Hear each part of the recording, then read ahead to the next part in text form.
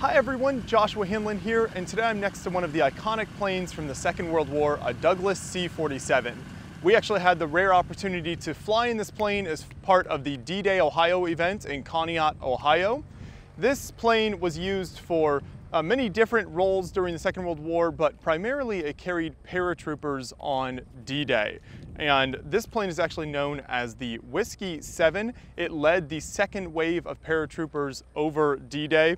It carried 21 troops from the 82nd Airborne, and its drop zone was a field near the village of Sainte-Mère-Église in France around 2 a.m. on D-Day, so this was still several hours before the beach landings took place on Normandy. The men of the 82nd jumped from Whiskey 7 at about 700 feet above ground level. After releasing the paratroopers, the uh, planes that were with Whiskey 7 uh, all dropped down to 100 feet above ground level to avoid enemy gunfire. And after D-Day, uh, Whiskey 7 would go on to participate in Operation Market Garden and Operation Varsity as well.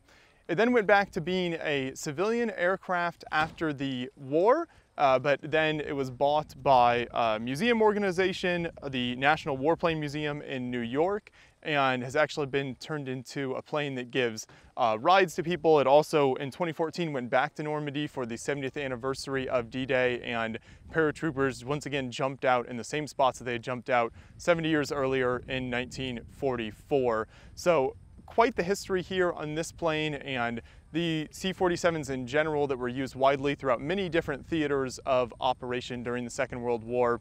It was a real privilege to be able to ride on this plane. Uh, it was $150, but that money also helps keep all these planes uh, running and keep this history alive. So even though it is a fairly expensive experience, it was well worth it. The experience lasted for about a half an hour and you're able to walk around inside the plane. You're able to see out the windows. We flew over the beach on uh, Lake Erie where the D-Day reenactments happened during the D-Day Ohio event as well.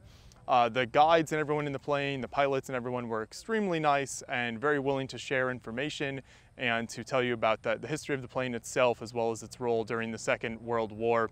So Cannot recommend highly enough if you have the opportunity to ride in a plane like this or really any plane from the Second World War, uh, definitely take that opportunity. And it's incredible that this was one of the planes that actually flew over Normandy on D-Day on D-Day itself. So it's a, an amazing experience and we're very happy we were able to come out to Ohio and experience this today. Thanks so much for watching.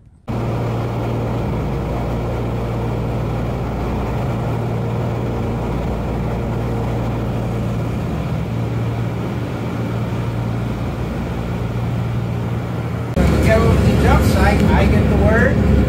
That red light turns from red to green, the bell goes off, and out they go. Then they still jump on this one. Oh, yeah. Oh, yeah. As a matter of fact, now Les Cruise, the gentleman I was speaking to you about, he signed the door there. These are all jumpers from either